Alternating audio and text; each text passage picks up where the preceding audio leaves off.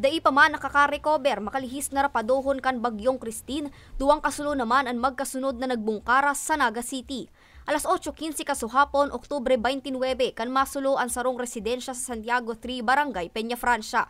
Susug sa investigasyon, bigla na sanang nagkaigwanin pag-spark ang extension wire kan magsaksak digdi ang tagharong makalihis na makabalik na ang supply nin kuryente. Alas 8.27 kan may deklara ining fire out. Napag-araman na nadumugmanda ang extension wire darakan pagbabaha sa lugar extension wire nabasa eh, nabasa yata to kan si pagbagyo dahil man po ninda pig check kang nagigwang kuryente dahil ninda na ano ah, nag-short ito.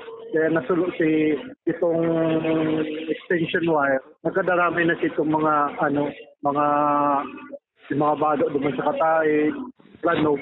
Pigkakarkulong abuton sa 20 mil pesos ang winalat na distroso kan insidente. Maswerte naman na mayong nakulugan o binawian in buhay sa pangyayari nakaagi kay si Bagyo, saro sa mga in-expect meaning may mga pami pa, pa miri minsan maapod sa mong ni kasulo. Uh, nakaagi kay man si Bagyo eh, kumbaga sa ano, nakaagi si Bagyo. Uh, may mga minsan data na check na wala si kuryente, si iba sinanop si mga saksakan, kay pagsincheck. Uh, tapos biglang nagka-kuryente. Kaya yan minsan saro sa mga nagig, nagiging cause ang kasulo. Antes kay ni alas 7 Jes kasubanggi Oktubre 28 kan magbungkaras man ang kasulo sa sarong-harong sa barangay Triangulo. Nagluluwas naman sa investigasyon na nagpuon ang kasulo sa nabayaan na kandila sa ikaduwang palapag kan residensya. Tulos man ining nirespondihan kan mga bumbero alas 7:30 nin banggi kan maideklara ining fire out. Wara man na nakulugan no casualty sa insidente.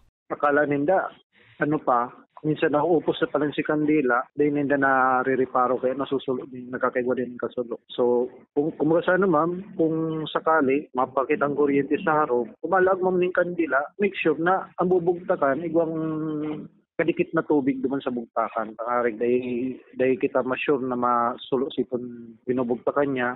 And make sure din na itong kandila harayo duman sa mga madaling madukutan na ning kalayo. Ba mga apil, ay ning kurtina. Kaya kung ano ma'am, isa-sure ta na si kandila harayo duman sa mga bagay na to. Katakod kay ni nagpatanid man na Naga City BFP sa publiko na mas maging maingat urog ng unya na diit-diit nang nakakabalikan supply nin kuryente, makalihis an panrapado kan bagyo, siring man sa mga daipang kuryente, asin nagagaramit pa nin gasera asin kandila. Para sa mga baretang Tatak Bicol, Angeline Dagta.